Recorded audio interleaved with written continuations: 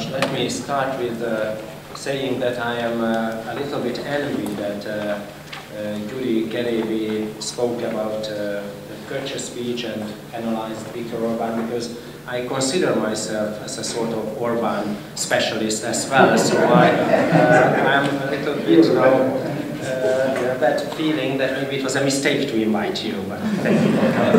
Uh, now, uh, my, our topic is certainly very much colorated what you said, and let me start that uh, that uh, what you, uh, what Gyuri spoke about is actually coming back into the debates uh, this year inside the European Union.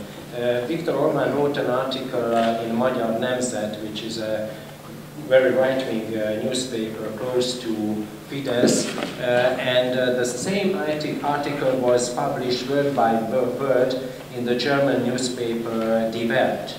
Now, uh, in the same issue, the, the chief editor-in-chief of Die Welt has written an answer to, to the article of Viktor Orban, which is, I think, in itself a strange uh, method, and he exactly criticized some of the points uh, in Orban's uh, article what Gyuri spoke about. He explicit, explicitly spoke about the Narodnik argumentation of uh, Viktor Orban when Orban wanted to represent the people uh, against all sort of uh, strange uh, and speculants and other people who dislike the new uh, basic law uh, in Hungary. And he also realized the argumentation or the attitudes of uh, Orban when uh, he said that there are people who just want to discuss issues for the debate itself,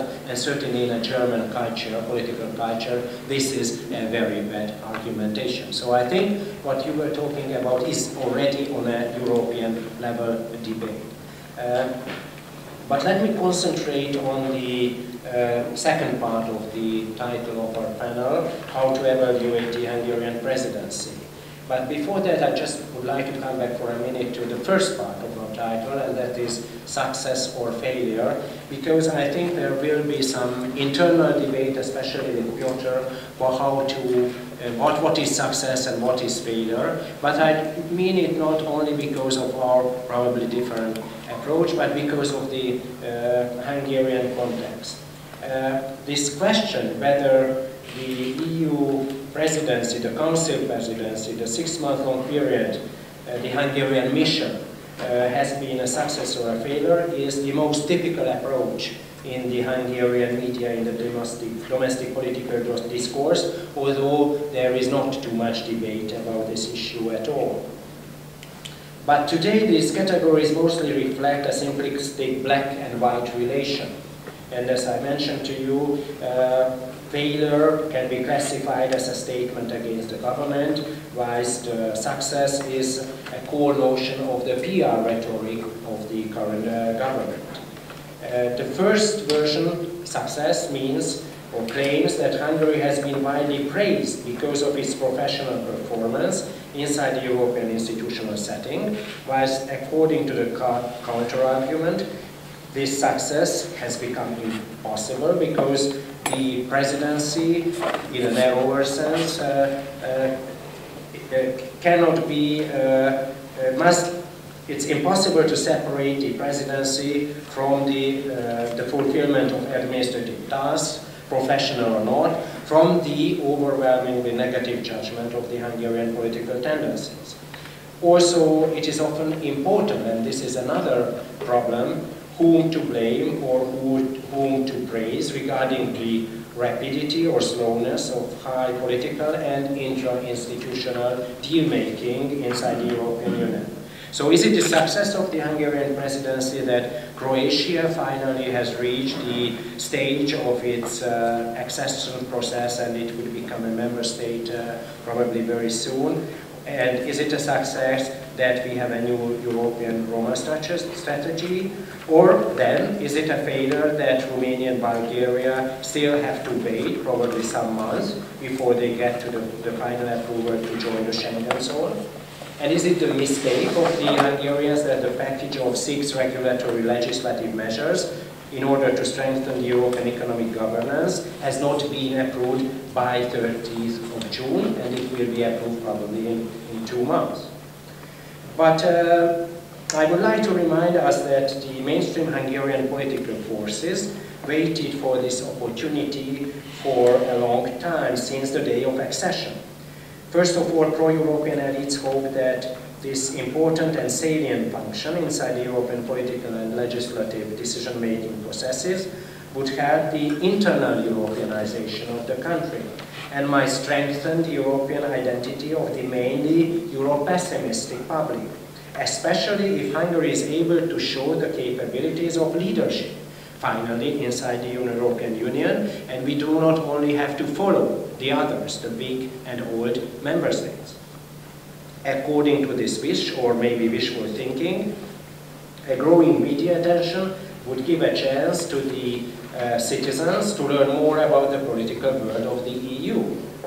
Secondly, uh, in the perception of Hungarian politicians and civil servants, the rotating presidency was supposed to be a special opportunity to verify the maturity of the Hungarian EU membership to other member states and European institutions, and then we might forget about our obsessions about so-called secondary membership. So, thirdly, there was a hope that Hungary might contribute to the progress of the integration process because it has some special involvement in some policy areas and might initiate European solutions in some fields which might be less important for other member states as a newcomer, as a new post-communist country, and as a Central European country. So I would argue that instead of using success and failure, we might think what we really wanted to do. Now, first of all, the internal Europeanization of the Hungarian public through education has not happened according to the original positive scenario. Just the opposite. The rhetoric of the Prime Minister probably widened the gap in the attitudes of his followers uh, between the European Union as such and Hungary, uh, in case they really received his messages. Now, since time is short, I just want to point out that he made some very important speeches. First of all, when he compared Brussels to the, to Moscow of the Soviet Union and to, the, to Vienna of the Habsburg Empire. He also, that was a public speech, he, he, an opener speech, if you want. He also made a speech in the parliament arguing that I do not believe in the European Union, I believe in Hungary. This was a total denial of double identity, Hungarian and European identities.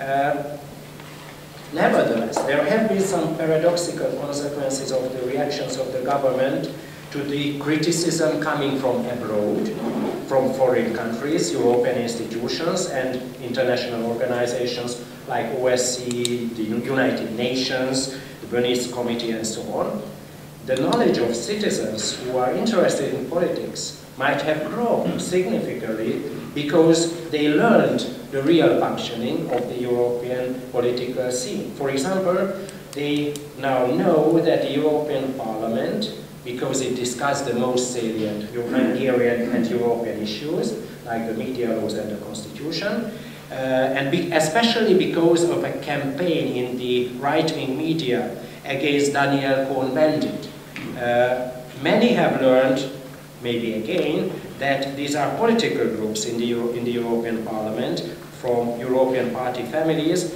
which make decisions and uh, cooperate uh, with each other, and not the national blocs who sit in the European Parliament. So it was a strange learning process.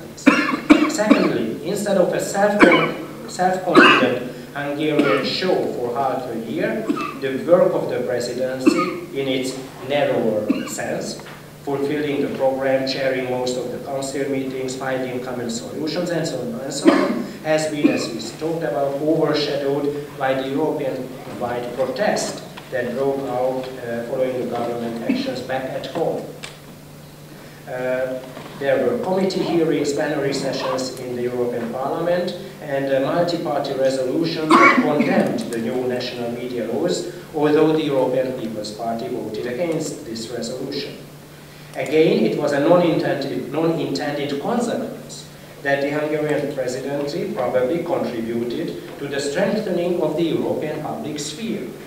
The overlap between the domestic and European political spheres has become bigger. The old resistance against the intervention of strangers into domestic affairs has been not blocked and European political actors got actively involved in the heated debates about issues which cannot be interpreted anymore as internal competences. With an optimistic declaration, we might even say that maybe what belongs together grows together. That's also a sort of consequence. Now, thirdly, although we cannot speak of a routine presidency according to my position, after which we just concentrate on the usual analysis, uh, and not to forget the trio presidency, the program, the original program of the trio presidency, Spain, Belgium, and Hungary, since it's not only a Hungarian presidency. In some crucial areas, the contribution of the Hungarian Council presidency to the progress was definitely significant.